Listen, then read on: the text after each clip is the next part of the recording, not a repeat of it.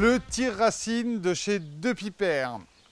Alors non, ce n'est pas un tire-bouchon, euh, ce n'est pas une tarière, c'est vraiment fait pour supprimer tout ce qui a une racine pivotante. Chardon, rumex, pissenlit. Vous allez positionner la vrille au cœur de la plante, tourner et tirer.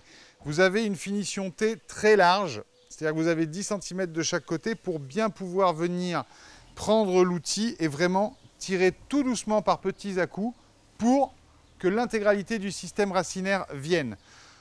Toujours un manche en freine, manche de 90. Tout est fait à la main, soudure à la main. Vous pouvez changer la vrille très facilement.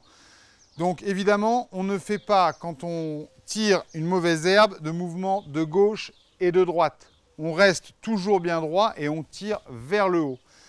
C'est un outil que nous avons remis au goût du jour à la sortie de certains systèmes qui, avec le pied, vont soulever la mauvaise herbe, mais souvent vous allez casser un tout petit bout de la racine et trois semaines après, vous retrouvez votre pissenlit.